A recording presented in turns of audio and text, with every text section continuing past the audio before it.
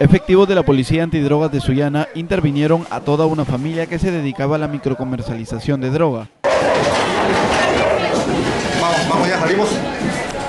Mira, mira, mira, mira. Salimos caminando, salimos caminando.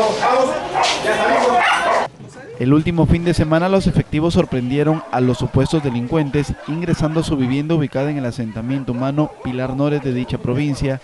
En el interior hallaron gran cantidad de envoltorios de pasta básica de cocaína.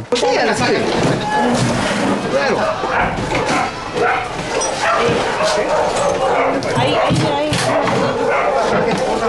Abajo en ese hay como una. Sí, sí, sí. Ya, cuenta, cuenta. Cuenta acá. Ya, ponla, ponla. Toma, toma.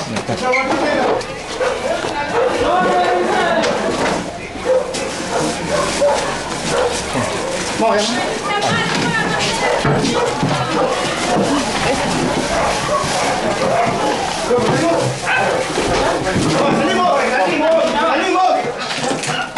qué? ¿Por qué? ¿Por qué salimos?